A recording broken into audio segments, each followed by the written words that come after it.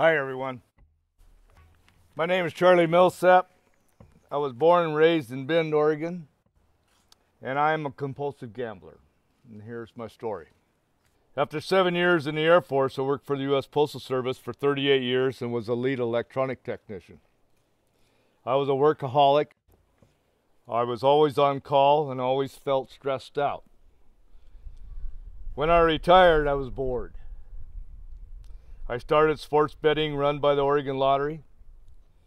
And when sports betting wasn't exciting enough, video poker was the next step.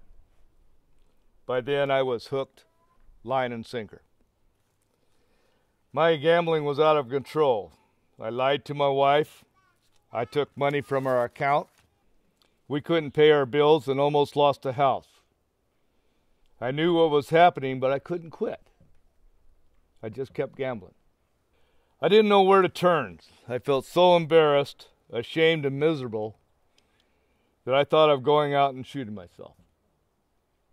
At that point, killing myself seemed better than showing the world that I was so weak. And then a year ago, something happened. I started to love myself. I'm enjoying life.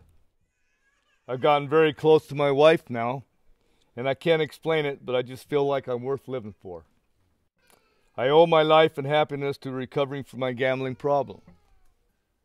I cannot express my gratitude to have my life back. But it's better than the life I had. I'm not afraid to speak, and I'm not ashamed of who I am anymore.